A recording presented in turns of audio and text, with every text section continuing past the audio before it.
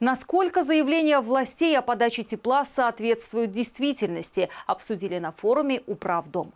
В нем приняли участие представители администрации округа, управляющих компаний и старшие по домам. Продолжение темы в нашем сюжете.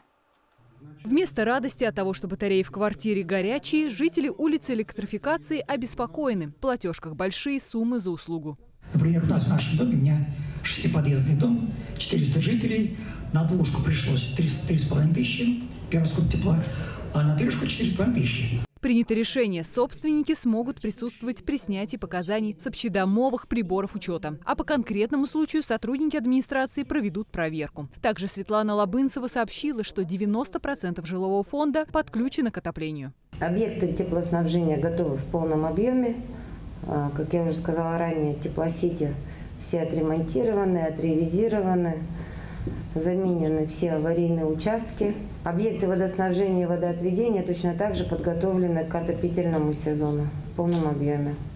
На форуме обсудили работу единой диспетчерской службы ЖКХ во время отопительного периода и содержание общего имущества многоквартирных домов. Мария Кузьмичева, Сергей Гвоздев, телеканал ЛРТ. Всем привет! Меня зовут Мария Кузьмичева. Вы смотрите ЛРТ. Подписывайтесь на наш канал на YouTube, ставьте лайки и будьте в курсе самых важных событий.